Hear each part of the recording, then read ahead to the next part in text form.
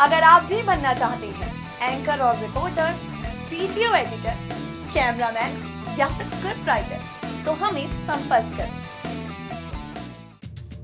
मध्य प्रदेश के मुख्यमंत्री शिवराज सिंह चौहान अपने दो दिवसीय दौरे पर शनिवार को शाम हरिद्वार पहुँचे, जहाँ उन्होंने सीधे कनकल स्थित हरिद्वार आश्रम के परमानंद स्वामी अवधेशानंद गिरी से मुलाकात की। पत्रकारों से वार्ता करते हुए उन्होंने मंदसौर पर हुई घटना पर दुख जताते हुए कहा। कि जब पीड़िता को इंसाफ नहीं मिल जाता, वे खुद को माफ़ नहीं कर पाएँगे। मंदसौर की घटना बहुत दुखद है। मानवता के नाम पर कलंक है। अपराधी तत्काल पकड़ लिए गए थे। बेटी अभी इंदौर में भर्ती है। स्थिति में तेज़ी से सुधार हो रहा है। वो बेटी मेरी बेटी है, मध्य प्रदेश की बेटी है। मैं लगातार उस परिवार के संपर्क में हूँ, डॉक्टर्स के संपर्क में हूँ। हमें पूरा विश्वास है कि वो स्वस्थ होगी। हमारी बेटी है, इसलिए उसके इलाज की, उसकी शिक्षा की और उसके भविष्य की पूरी चिंता हम करेंगे। लेकिन उसके साथ अपराधियों को फांसी मिले। मैंने आज ही CJI chief justice of India के सामने,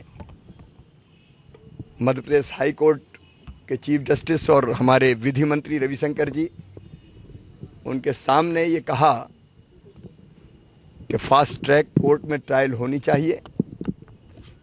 लोअर कोर्ट और लोअर कोर्ट में अगर फांसी हो जाए तो फिर हाई कोर्ट और हाई कोर्ट में फांसी हो जाए तो फिर सुप्रीम कोर्ट। इस मामले में स्पीडी ट्रायल होके इन दरिंदों को फांसी के फंदों पर लटकाया जाना चाहिए। ये पापी धरती पर बोझ है। इनको इस धरती पर जीने का हक नहीं है। मानवाधिकार मनुष्यों के होते हैं, राक्षसों के नहीं। जब तक इनको फांसी नहीं होगी, मुझे भी चैन नहीं मिलेगा। मैं भरसक प्रयास करूँगा। पुलिस की अपनी व्यवस्था पूरी हो गई है। जल्दी चालान पेश करेंगे। सीसीटीवी सीसीटीवी में फुटेज आए हैं, अपराधी पकड़े गए हैं उन्हें कबूल किया है। इसलिए बस उनको फांसी होनी चाहिए, इसमें हम कोई कसर नहीं छोड़ेंगे।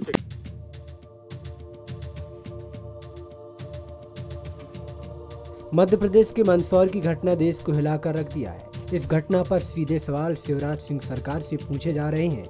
आखिर ऐसी घटना क्यों हो रही है? क्या प्रशासन पूरी तरह फेल हो चुका है? S P N news room की रिपोर्ट।